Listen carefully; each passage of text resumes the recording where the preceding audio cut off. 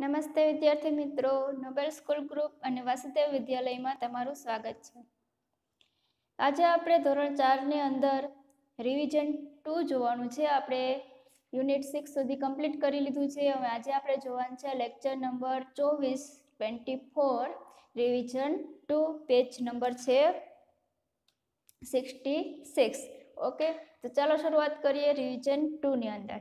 Revision ટુમાં આજે જોવાની છે આપણે એક્ટિવિટી વન એક્ટિવિટી ટુ અને એક્ટિવિટી થ્રી તો ચાલો આપણે શરૂ કરીએ એક્ટિવિટી વન તો એક્ટિવિટી વનમાં શું કીધું છે?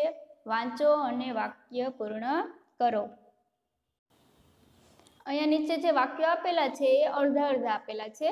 પાછળ પાછળ ખાલી જગ્યા આપેલી છે, તો તે આપણે પૂર્ણ કરવાની છે. તો ચાલો જોઈએ કે તેમાં શું આપેલું છે. શરૂઆત જો ક્યાંથી કરી છે? હેલો હેલો એટલે નમસ્તે, આઈ એમ, આઈ એટલે હું એમ એટલે છું. હેલો, હું છું.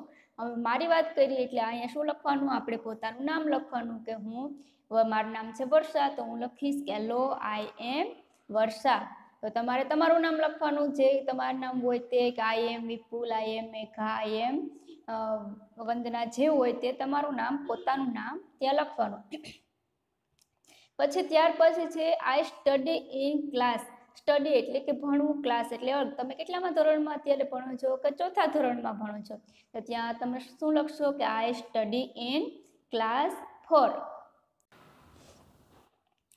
class four પછી ત્યાર પછી છે my father's name is father એટલે પિતા. કે મારા પિતાનું નામ, તમારા જે, તમારા પિતાનું નામ જે હોય, અશોકભાઈ છે, રમેશભાઈ છે, મગનભાઈ છે, જે કાંઈ પણ હોય તે ત્યાં લખવાનું કે my father's name is Ashokbhai. ત્યાર પછી માય મધર્સ નેમ ઇઝ તો કે તમારી મમ્મીનું નામ, તમારી મમ્મીનું નામ શું છે? તો કે તમારી મમ્મીનું નામ જે કાંઈ પણ હોય તે ત્યાં લખવાનું કે my mother's name is Raniben Rinaben, Minaben જે કાંઈ પણ હોય તે ત્યાં લખવાનું. અને છેલ્લે છે આઈ લવ લવ એટલે કે પ્યાર કરવો પ્રેમ કરવો માય માય એટલે મારું ત્યાં શું આવશે? ઉપર જે છે, એ આખું કોની વાત કરી છે? તમારે તમારા ફેમિલી તમારા વિશે, તમારા ક્લાસ વિશે, તમારા મમ્મી પપ્પા વિશે. તો આ બધી છે, આખી તમારી ફેમિલી થઈ. તો ત્યાં તમે શું લખશો? I love my family okay? સમજાઈ ગયું બધાને? આ તમારા પોતાના વિશે, કોઈ પણ પૂછે તમારી ફેમિલી વિશે કે તમારી ફેમિલી વિશે ત્રણ ચાર વાક્યો બોલો, તો તમારે આ રીતના બોલવાનું. ઓકે સમજાઈ ગયું બધાને? હવે જોઈએ આપણે એક્ટિવિટી ટુ એક્ટિવિટી ટુમાં શું આપેલું છે કે બંધ બેસતા ન હોય એ શબ્દ ફરતે રાઉન્ડ કરો. કે નીચે જુઓ, શબ્દ આપેલા છે. એક, બે, ત્રણ, ચાર, પાંચ ક્રમ આપેલા છે અને ક્રમની સામે ચાર ચાર શબ્દ આપેલા છે. તો આ ચાર શબ્દોમાંથી કોઈ ત્રણ શબ્દ છે એક સરખા લાગુ પડતા હશે અને એક શબ્દ છે તેનાથી અલગ હશે. તો આ જે અલગ શબ્દ છે, તેની ફરતે તમારે શું કરવાનું છે? રાઉન્ડ કરવાનું છે. તો ચાલો જોઈએ, પેલું છે ડ્રાઈવર. ડ્રાઈવર એટલે શું થાય? જે ગાડી ચલાવતો હોય તે. ફાર્મર એટલે કે ખેતી કરતો હોય તે. ફાધર એટલે કે પિતા અને ડૉક્ટર એટલે કે જે દવા આપતો હોય તે. તો હવે જુઓ એમ, આ ત્રણ છે, ડ્રાઈવર છે, ફાર્મર છે અને ડૉક્ટર છે, આ છે એ કોઈ વ્યવસાયને લગતા નામ છે. તો કે ગાડી ચલાવનાર ખેતીકામ કરનાર દવાખાનું ચલાવનાર. અને ફાધર છે એક વ્યક્તિના, એક આપણા પપ્પાનું નામ છે. પપ્પાને શું કહેવામાં આવે છે? ફાધર કોઈ એક વ્યક્તિ છે. એટલા માટે અલગ શું પડશે? તો કે ફાધર તો ફાધરની ફરતે રાઉન્ડ કરો. ત્યાર પછી બીજું છે બ્રધર બ્રધર એટલે ભાઈ. ગ્રાન્ડ ફાધર ગ્રાન્ડ ફાધર એટલે શું થાય? તો કે દાદા. નર્સ નર્સ એટલે કે જે સેવા કરે છે, તે પરિચારિકા જે હોસ્પિટલમાં કામ કરતા હોય, દર્દીની સેવા કરતા હોય એને શું કહેવામાં આવે છે? નર્સ અને ત્યાર પછી છે સિસ્ટર સિસ્ટર એટલે કે બહેન. હવે આમાંથી કયો શબ્દ છે અલગ પડશે? તો કે બ્રધર ગ્રાન્ડફાધર સિસ્ટર અને નર્સ તો કે બ્રધર ગ્રાન્ડફાધર અને સિસ્ટર છે એ આપણા પરિવારના નામ છે. આપણી બેનનું, દાદા અને ભાઈને આપણે જે રીતે બોલાવીએ તે. અને નર્સ છે તે એક અલગ જ શબ્દ છે કે જે હોસ્પિટલમાં કામ કરે છે તે. આ પારિવારિક શબ્દ છે અને તે નર્સ છે. તે અલગ શબ્દ પડી જાય છે. તો અલગ શબ્દ કયો આવશે? તો કે નર્સ ત્યાર પછી ત્રીજું શું છે? તો કે રનિંગ રન એટલે કે દોડવું. દોડી રહ્યો છે ડાન્સ ડાન્સ એટલે નૃત્ય કરવું. નૃત્ય કરી રહી છે લાફિંગ લાફ એટલે કે હસવું, હસી રહી છે અને ક્લેપ એટલે કે તાળી. હવે અહીંયા જો ત્રણ ત્રણ નામ છે રનિંગ ડાન્સિંગ અને લાફિંગ પાછળ આઈએનજી લગે એટલે કે એ કાર્ય અત્યારે હાલમાં તે કરી રહી છે. કોઈ પણ વ્યક્તિ છે તે તે કે તે દોડી રહી છે, નૃત્ય કરી રહી છે અને હસી રહી છે. અને ક્લેપ એટલે કે ક્લેપ એટલે કે ખાલી નામ છે. આપણે તાળી જેને પાડીએ એને શું કહેવામાં આવે છે? ક્લેપ. કોઈ પણ વ્યક્તિ છે ક્લેપ, તાળી પાડી રહી નથી એટલે અલગ કયો શબ્દ પડશે? તો કે ક્લેપ. ત્યાર પછી ચોથું છે પેન, બુક, પેન્સિલ અને કાર આમાંથી ચલો ફટાફટ તો બધાને આવડવું જોઈએ. કયો શબ્દ અલગ પડશે?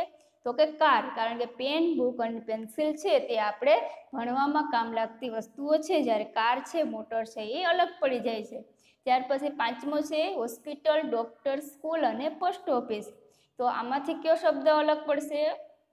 તો હોસ્પિટલ છે એ આપણે જે દવાખાને જઈએ છીએ, જ્યાં ડૉક્ટર હોય છે, તેનું નામ છે. સ્કૂલ એટલે કે જે છોકરા ભણવા જાય છે, તેનું નામ છે. અને પોસ્ટ ઓફિસ છે જ્યાં આપણે ટપાલ નાખવા જઈએ, તેનું નામ છે.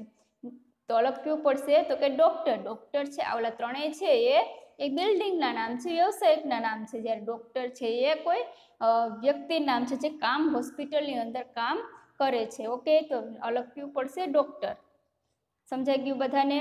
તો હવે આપણે જોઈએ આગળ એક્ટિવિટી થ્રી એક્ટિવિટી થ્રીમાં આપેલું છે, ચિત્ર જુઓ, વાક્યો વાંચો, નીચે આપેલ જગ્યામાં ચિત્ર સાથે બંધ બેસતા વાક્યો લખો. અહીંયા જો તમને ઘણા બધા વાક્ય આપેલા છે અને સામે એક ચિત્ર આપેલું છે કે શું આપેલ છે? એક છોકરો છે એ હોકીનો દંડો લઈ અને રમે છે. ઉપર એક સૂર્ય છે અને સાઈડ એનું નામ શું આપેલું છે કે રહીમ આપેલું છે? અને આ ચિત્રને આધારે અમુક વાક્યો આપેલા છે. જે આ ચિત્રને બંધ બેસતા અમુક વાક્યો છે અને અમુક વાક્ય અલગ છે. તો ચિત્રને જે અનુરૂપ વાક્યો છે તે આપણે નીચે લખવાના છે. તો ચાલો આપણે જોઈએ કયા કયા વાક્યો છે. એ ચિત્રને અનુરૂપ છે. તો પેલું વાક્ય છે there is a young boy in the picture તો કે આ ચિત્રમાં એક યુવાન છોકરો છે, યંગ બોય. એટલે કે યુવાન છોકરો. તો આ વાક્ય તો લાગુ પડશે જ. તો ચાલો નીચે લખી નાખો બધા. There is a young boy in the picture ત્યાર પછી બીજું છે હિઝ નેમ ઇઝ રોશન. તો શું આ છોકરાનું નામ રોશન છે? તો કે ના. તો તે વાક્ય આવશે નહીં કે તેનું નામ રોશન છે. તો કે ના. એ ખોટું છે. તો તે વાક્ય અહીં આવશે નહીં. ત્યાર પછી ત્રીજું છે હિઝ નેમ ઇઝ રહીમ. હા, એ છોકરાનું નામ શું આપેલું છે? ઉપર જો, છોકરાની ઉપર રહીમ. તો કે હા, તે છોકરાનું નામ રહીમ છે. તો નીચે આપણે લખશું બીજું વાક્ય કે his name is Rahim. It is raining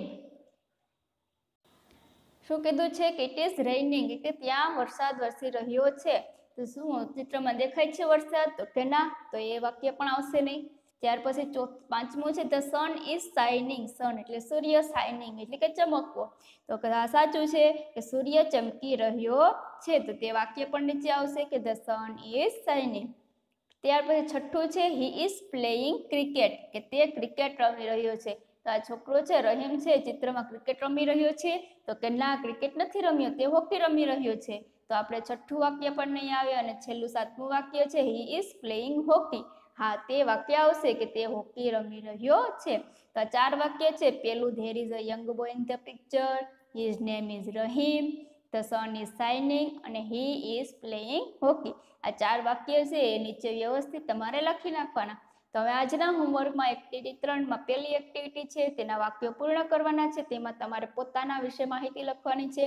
બીજામાં જે રાઉન્ડ કરવાના છે તે અલગ શબ્દ પડે છે તે. અને આ ત્રીજામાં જે ચાર વાક્ય છે, આ ચિત્ર અનુરૂપ આવે છે તે, આ બંને છે તમારે હોમવર્કની અંદર પૂરા કરી નાખવાના. ઓકે? વ્યવસ્થિત સારા અક્ષરે તમારી બુકમાં લખી નાખવાના. ઓકે? Thank you